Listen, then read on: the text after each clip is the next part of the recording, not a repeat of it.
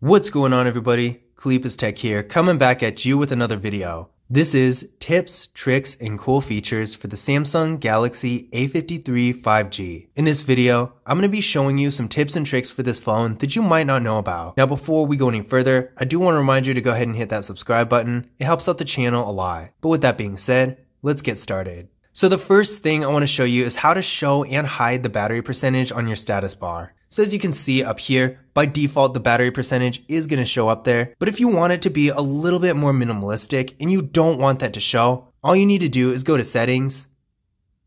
From here, go to notifications, go to advanced, and then right up here at the top in the status bar menu, you're going to toggle off show battery percentage.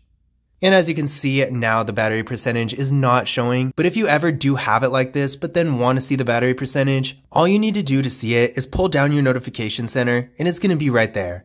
So really by having the battery percentage hidden, it can make the status bar look a little bit cleaner and you're not really missing out. The next thing I'm going to show you is a feature called Attentive Display. Now, back in my beginner's guide for this phone, I showed you how to change the screen timeout time for your display to help you avoid having to constantly tap on your screen to keep it from falling asleep. But Attentive Display is sort of similar to this, but it's a little bit more efficient if you're going to be using your phone for a long period of time without touching it. Maybe you're watching a movie or reading a book or something like that. Because after all, the screen timeout time on this phone does have a limit of 10 minutes. You can't set it to longer than that and even if you could, having a really long screen timeout time does drain your battery because you could forget to lock it. And in that case, it could just stay on and keep using up your battery. And with the 120Hz Super AMOLED display that this phone has, you really don't want that. So basically with Attentive Display, what it does is uses the front facing camera to recognize your face looking at the phone. And as long as you're looking at it and it detects you, it's gonna keep the display on. So to activate this feature, we're gonna go to settings.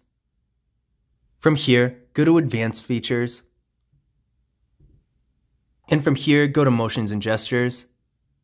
And where it says Keep Screen On While Viewing, you're going to want to toggle this on. So with this feature on, like I said before, it's going to use the front facing camera to detect your face, and as long as you're looking at the screen, it's not going to fall asleep. Now this is one of those features where it's kind of hard to show in action, but I can tell you from experience, I haven't had any issues with it yet. Now I'm going to show you a few different things we can do with the power key. So with the default settings, if we double tap it, it's going to open the camera. And if you press and hold, it's going to open Bixby. Now, if you're new to this kind of format, you might be wondering, if pressing and holding the power key opens Bixby, how exactly do you turn off the phone? It's actually pretty simple, even though it's kind of annoying. All you need to do is swipe down twice like this, tap on this little power icon right here, and this is going to bring you right to the power menu. Now this might be fine for some people, but if you want it to be a little different, let me show you what else you can do. So once again, we're going to go to settings, from here, go to Advanced Features. Then from this menu, tap on Side Key. Now the first thing we got here is what happens when you double press it. By default, like I said before, it's going to open the camera. But if you want, you can also open pretty much any other app you want. So if we hit this gear right here, it's going to allow you to choose whatever app you want it to open. So for example, let's open Snapchat. So now double pressing the power key is going to open Snapchat instead of the camera. Now of course, if you don't want it to do anything, you can simply turn it off. And now if we double press the power key, it's not going to do anything at all. Now the next thing we can change is what happens when you press and hold the power key. Now like I said before, pressing and holding does open up Bixby, which I guess it could be good if you actually use Bixby, but if you don't, you can actually change it to open the power menu instead. So now I'm going to press and hold, and we go right to the power menu. So it's definitely nice to be able to customize what this button actually does. The next thing I'm going to show you is a feature called adaptive brightness. This is basically exactly what it sounds like. Essentially, it's going to allow the brightness of your display to adjust based on the lighting of your environment. So if you're in a really bright area, it's going to brighten up so you can see it. But if you're in a dark area where you don't need it to be as bright, it's going to dim a little to save battery and be a little bit easier on your eyes. So to get to this, we're going to go to settings, from here, go to display. And adaptive brightness is right here, toggle this on. And as you can see, it instantly adjusts. Now, while this feature is cool in theory, there's some people out there who just like to have it at 100% brightness at all times and just don't really care about the benefits of having it dimmer sometimes. But at the same time, the one drawback of having it like this is that when you're using your phone at night and have it so bright, the blue light can bother your eyes and make it harder to get to sleep. But luckily, we do have a solution for that. This feature is called Eye Comfort Shield. It's right here. If we turn this on, it's basically going to tint your screen in an amber color, and this is going to filter out that blue light so you can still have your display really bright without bothering your eyes nearly as much. You can also customize it, so if we go here, you can make it stronger or more subtle. Now the next thing I'm going to show you is how you can change your refresh rate. In case you didn't know, this phone does have a 120Hz refresh rate, which is going to make the movement on the screen a little bit faster and smoother, and just feel more premium overall. But the downside to this is it can use up a little bit more battery, so if you do want to save a little power, with this phone you actually can change the refresh rate. So to do this, we're going to go to settings, from here, go to display. From this menu, go to motion smoothness. And as you can see, by default, it is going to be high, but you can change it to standard, and this is going to save a little power. Now, is this really going to make a huge difference in the grand scheme of things? Probably not, but it's nice to know if you ever do want to save some power, this is always an option. The next thing I'm going to show you is how to create a screen recording. Now this is a really easy thing to do, but it's in kind of a weird spot, so if you've never done it before, it might be a little tricky. So all you need to do is open your quick menu by swiping down twice like this. One, two.